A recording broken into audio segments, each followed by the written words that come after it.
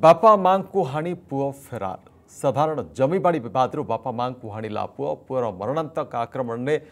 ଲୁହୁଲୁହାଣ ହେଲେ ବାପା ମା ଏଭଳି ଅଭାବନୀୟ ଘଟଣା ସାମ୍ନାକୁ ଆସିଛି ନୟାଗଡ଼ ସଦର ଥାନା ଅନ୍ତର୍ଗତ ବରପଲ୍ଲୀ ଗାଁରେ ଗାଁର ତିରିଶ ବର୍ଷୀୟ ଯୁବକ ଜ୍ଞାନେନ୍ଦ୍ର ନାହାକ ନିଜ ବାପା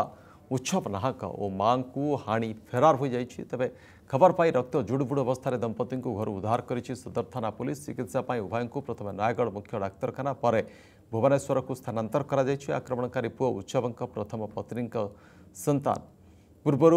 प्रथम द्वितीय पत्नी देहांत हो उच्छव आक्रमण शिकार होती तृतीय पत्नी ए कारण बाप मध्य दीर्घ दिन हो जमिवाड़ी बंटन को नहीं बद लग रही